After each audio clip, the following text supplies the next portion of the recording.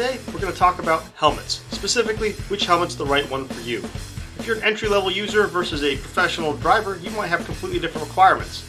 One thing that's important to remember though, the right helmet for your friend may not be the right helmet for you. It's always best to try them on yourself before ever buying one. In the industry, we more or less break down folks' heads into a couple different shapes. Even though you may measure out at a specific size, helmets may not fit quite how you were expecting them to based on your head shape. If you have a round head like me, you'll probably want to check out the Bell line. That includes the Bell M8, the GP3, and also their entry-level B2 line. Even though they're all made by the same company, it's worth considering that each one has a slightly different padding system which will make them fit a little bit differently.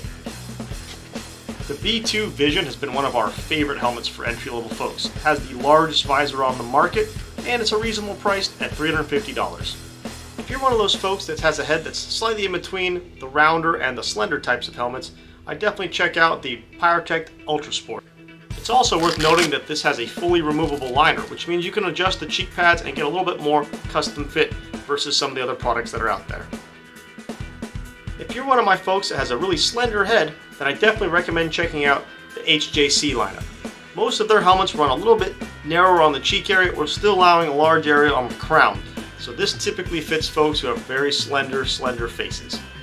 If you're not sure what kind of helmet you probably wear, it's best to head down to your local shop and try a few on. Or of course you can always consult places like WDL Racing or some of the other larger motorsports facilities out there and I'm sure someone can help you figure it out.